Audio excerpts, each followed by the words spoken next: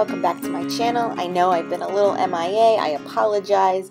Honestly, the last few layouts I've just done organically, and then the last two layouts I even attempted to um, film. The camera cards magically lost my footage, so I'm sorry.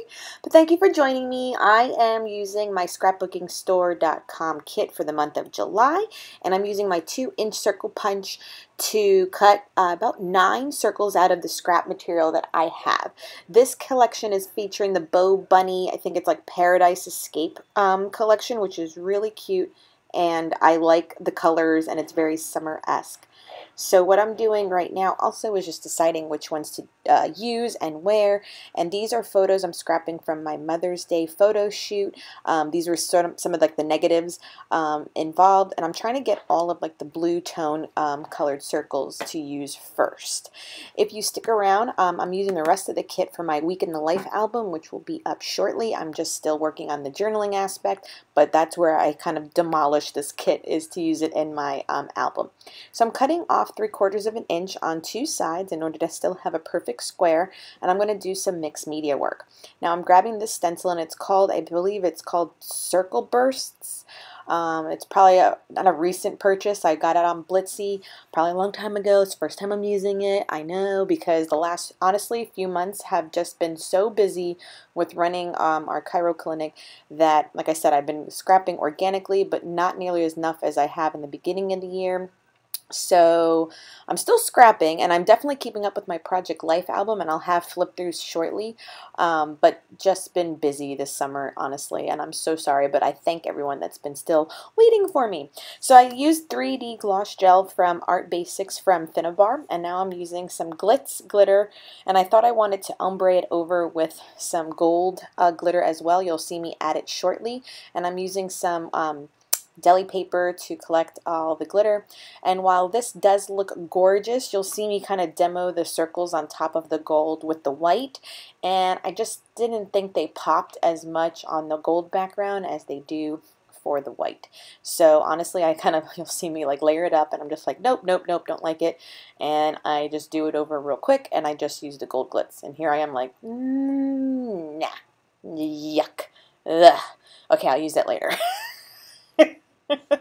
so getting some more cardstock real quick and going in there again. And if you haven't ever done this technique, I always use uh, gel. Doesn't have to be 3D gloss, but it's just like icing a cupcake. You just kind of smear it over like it was, you know, cream cheese on bread.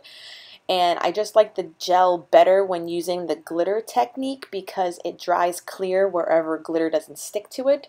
Um, you can do this with modeling paste. I just find that the gel gets to stick more glitter than modeling paste. It totally works the other way. Like if you mix it into the modeling paste and kind of scrape it through, I think it works. But again, it's a white texture for modeling paste and this one, like I said, dries clear. So just a little FYI, you can do it either way. I just prefer gel when doing glitter. And I love the texture that it is. Now don't get me wrong, could I have used modeling paste and been happy with the texture in the background? Yes.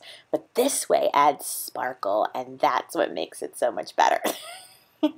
Alright, so some of the bits that you see on top, like the pinwheel and the orange slice and the words, are from the kind of ephemera pack from Bo Bunny as well, that's also featured in the kit. And I'm using um, liquid scotch glue. This is just the tacky glue, and I'm using liquid simply because um, it won't, like double-sided tape won't work for sticking on a glitter background, uh, the texture-wise. So the glitter glue, the gl liquid glue just works better on a textured background. So that's what I am doing here.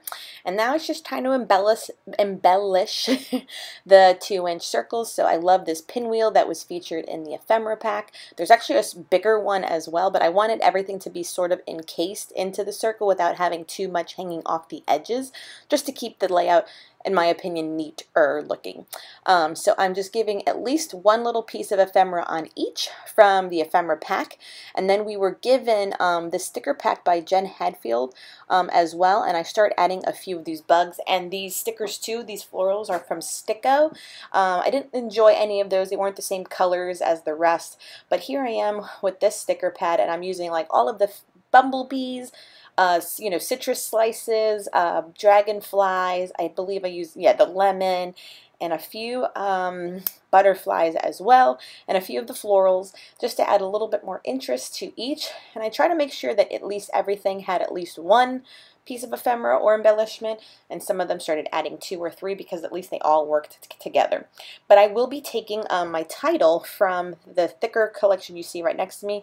It's kind of the rose gold glitter set, and I used the tinier words that say um, best best day is yeah best day and the Y actually breaks right now when I pull it off the sticker sheet you'll see it happen. I'm like ah and then I have to piece it together like cray cray.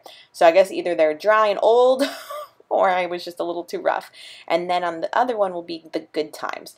Um, I thought about having a bigger word across like all of the, the whole in layout, but again, I have to keep in mind when it's a textured background like this, it's hard to have anything stick really well to the background. So just be conscious of it when you do that. And there was my head of hair for you. All right, and here are all the close-ups. Thank you so much for joining me. Give this video a thumbs up and subscribe if you haven't done so already. And it's good to be back. I hope this inspired you to do something creative soon. Bye.